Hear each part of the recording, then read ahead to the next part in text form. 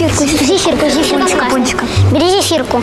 Ну, в принципе, Зефирка, Саша Демельштейн, это нормальный участник, который служится, который что-то умеет делать. Зефирка. Зефирка. Перед последним забирает меня. Фу, слава Богу. Потому що вже був не один раз, коли мене последнім забирали. Батя, батя, это будет Батя. Батя! Ура!